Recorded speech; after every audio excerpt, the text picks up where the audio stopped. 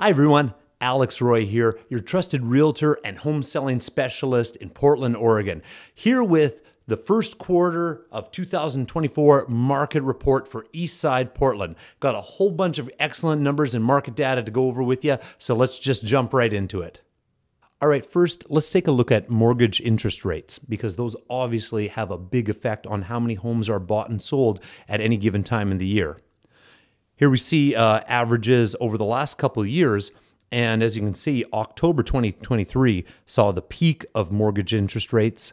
This stifled buyer activity as some buyers were priced right out of the market, couldn't afford homes based on the interest rates. Others felt it would be best to purchase when rates ease off a bit. The falling interest rate helped generate stronger sales in December, January, and February of this year over what it was at that time last year. Our next chart up is months of inventory. And remember that months of inventory refers to the number of months it would take for the current inventory of homes on the market to sell given the current sales pace. And as you can see, during the periods of sub 4% interest rates, the month's inventory was incredibly low, leading to multiple offer situations and very short market times.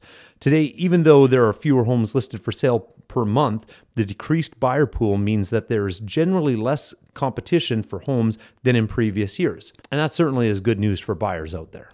Here we see a graph with a bunch of data on it. This is total homes for sale, total new listings, and total pending sales. And so the past three months, December, January, and February, on average performed better than the same months a year ago. Pending sales are up, showing increased buyer activity. Currently, new listings appear to be trending similar to the previous year, but should have a stronger spring summer if interest rates hold steady. Now let's take a look at days on market. Here with the average days on market, it's a good illustration of how the seasonal nature of real estate works. On average, homes will sit uh, on the market longer if listed in November, December, and January when buyer activity is low and unsold inventory builds up. 2023 saw a general increase in days on market over 2022, homes sitting around a little bit longer, buyers with less fear of missing out and more time to shop and browse for homes. Now, here's a chart that's really important to home sellers the average sold price for Eastside Portland. After a steady fall in home sales prices in late 2022, prices stabilized through 2023. Lower interest rates gave December of last year some strong sales numbers. January's average fell, but it was far better than the previous January and February, which shows a continued slight increase in sales prices over the previous year. And then finally, sold price versus original uh, list price difference. You know, how many homes were selling for over their original list price, how many are selling under. Typical to the yearly housing cycle, the last two years saw a surge in buyer demand in the spring, which led to more homes being sold above their original list price. By November, sellers accepted offers below their original list price.